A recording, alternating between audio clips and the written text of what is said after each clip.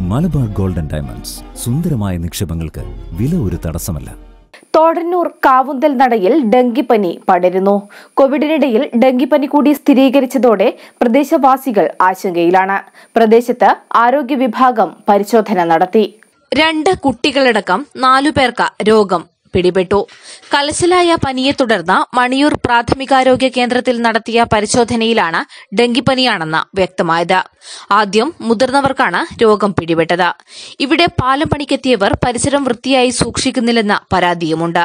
ഇതേ തുടർന്ന് മണിയൂർ പഞ്ചായത്തിലെ ആരോഗ്യ വിഭാഗം ഉദ്യോഗസ്ഥർ സ്ഥലം സന്ദർശിച്ച് തൊഴിലാളികൾക്ക് കർശന നിർദ്ദേശം നൽകി.